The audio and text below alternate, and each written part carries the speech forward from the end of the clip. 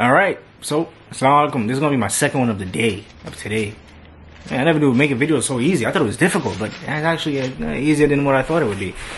Um, so this video is gonna be about why am I wearing a hoodie? If you guys are thinking about why I'm wearing a hoodie, I went out. I went. I went out to uh, to the to the uh, supermarket earlier today. Not that you guys care, but if you care, then may Allah increase that feeling. It's good to care for your your neighbor, your your brother, inshallah.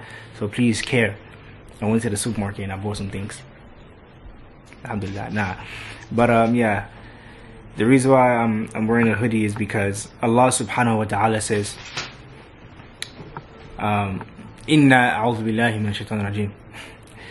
إنا هديناه السبيل إما شاكرا وإما كفورا that we have guided you إنا هديناه السبيل we have guided you to the way imma shakiran. Whether you be shakir, um, you be um, grateful, wa imma kafura, or whether you be ungrateful.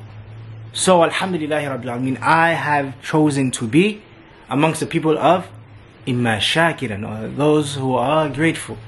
Those I'm grateful that Allah has given me this nice hoodie, Superdry. I'm not sponsored by Superdry, but it's a really nice hoodie.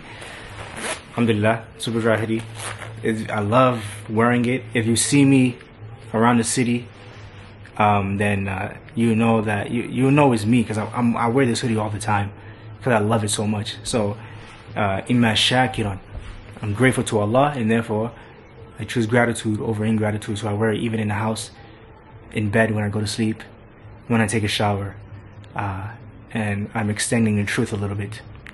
I'm joking. But yeah, so Alhamdulillah, this is the second video. Somebody's calling me. Oh, I gotta go. Somebody's calling me. Assalamu alaikum.